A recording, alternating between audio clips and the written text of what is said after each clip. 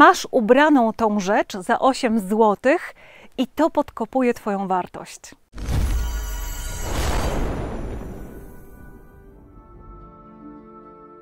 diabeł nagle wyciągnie coś z przeszłości, co było negatywne, ponieważ doszedł do wniosku, jeżeli nie reagujesz na rzeczy pozytywne, to spróbuje włączyć stare schematy, które wprowadzą cię do starych nawyków i starych nałogów. Co to może być?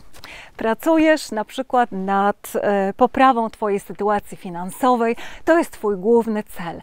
I na początku wszystko zaczyna się układać. Wiesz jakieś do przodu, pracujesz nad tym, pojawiają się pierwsze fajne efekty diabeł wysyła kuszenie, coś takiego. A słuchaj, wydaj teraz te pieniądze na to, albo na to, albo na to, na chwilowe przyjemności. Ty mówisz, nie, nie, nie, nie, nie, nie, nie. Ja pracuję nad moim celem i ten cel zrealizuję. To diabeł mówi tak, okej, okay, to ja ci pokażę.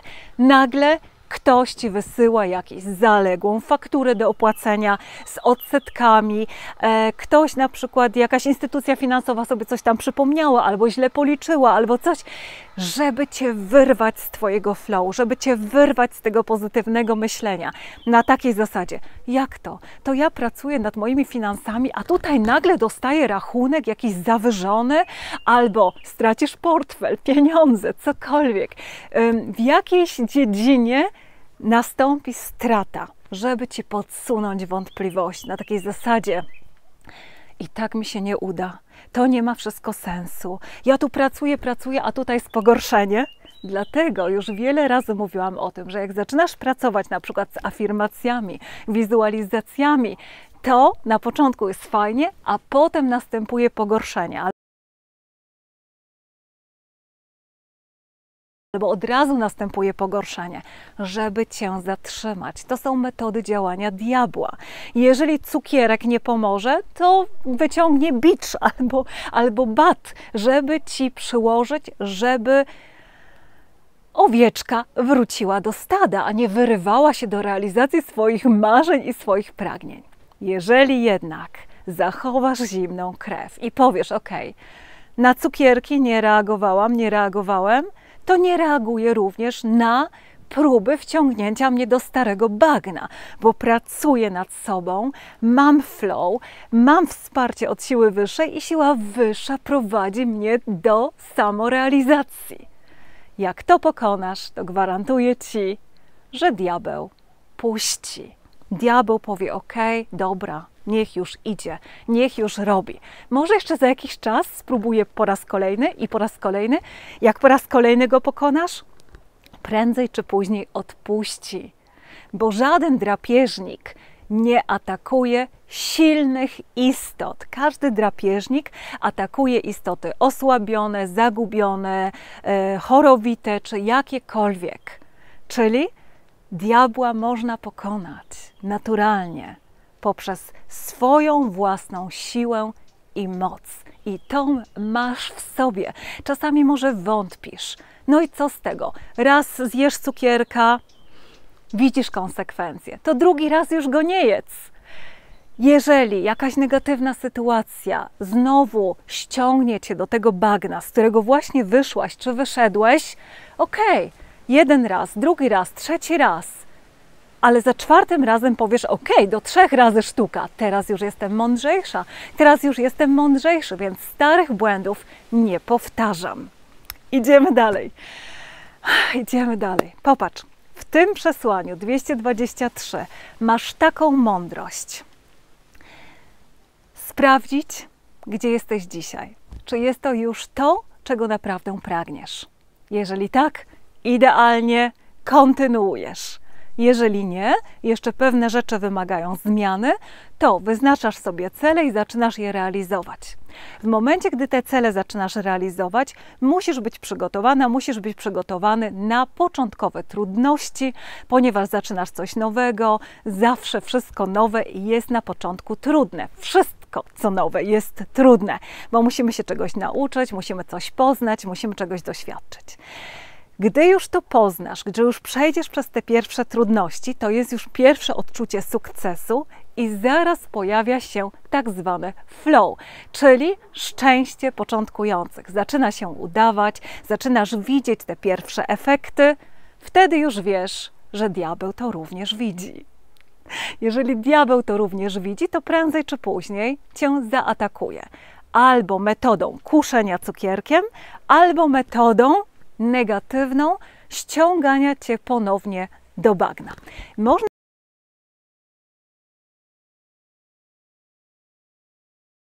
to przyjąć jako wyzwanie na takiej zasadzie, ok, czy zasługuję na to nowe i piękne życie, na tą nową jakość życia, czy też dam się skusić i wrócę do tego starego. I tutaj przykładów są tysiące. Popatrz. Przykłady są zawsze najlepsze, przykłady z życia. Pracujesz nad poczuciem Twojej własnej wartości, bo wiesz, że jeżeli czujesz Twoją wartość, to więcej w życiu osiągasz, ludzie cię szanują, traktują cię z respektem, z odpowiednim dystansem, nosisz głowę wysoko, żeby ci korona z głowy nie spadła. Inni doceniają Twoją pracę, Twój czas i również płacą więcej za Twój czas, za Twoje działania, więc to wszystko daje Ci dobry efekt. Pracujesz nad poczuciem Twojej własnej wartości, na przykład przy pomocy afirmacji, wizualizacji, ceremonii, wskazówek, rytuałów, e, świec intencyjnych. Idealnie. Na początku jest trudno, ale potem pojawiają się pierwsze sukcesy. Widzisz, że nagle inni traktują cię z większym respektem. Nagle widzisz, że ludzie są bardziej do ciebie mili niż byli wcześniej. Nagle widzisz, że ludzie przestają cię krytykować. Czyli jesteś na dobrej drodze. No i wiadomo, że zaraz diabeł się odezwie. Czyli albo podsunie ci coś, co będzie cię ściągało w formie cukierka. Na przykład jakaś tam twoja koleżanka pokazuje ci, a popatrz, kupiłam sobie na e, Temu albo AliExpress śliczny pierścionek, patrz, wygląda jak złoty, no idealny. I ty tak patrzysz, no rzeczywiście fajny, to podaj mi tę stronę. Podaję ci tę stronę i ty już jesteś w momencie, gdzie odpakowujesz cukierek, który otrzymałaś albo otrzymałeś od diabła. Banalny przykład Banalny przykład, z którym spotykamy się każdego dnia, ale on wcale nie jest taki banalny. Powiesz, no co w tym złego, że sobie kupię też taki pierścionek tam na przykład za dwa złote gdzieś tam w Chinach? No w tym dużo złego. W tym dużo złego, bo ty właśnie teraz pracujesz nad poczuciem twojej własnej wartości.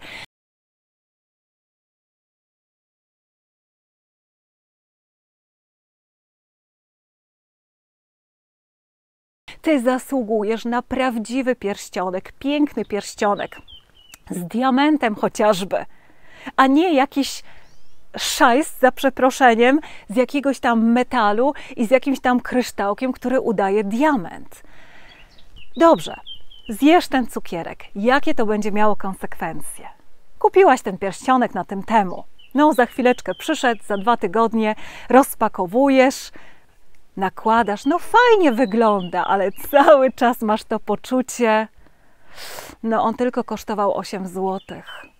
Idziesz na jakąś tam kolację czy biznesowe spotkanie, masz ten pierścioneczek ubrany i tak patrzysz, ciekawe, czy ta osoba widzi, że on kosztował tylko 8 zł.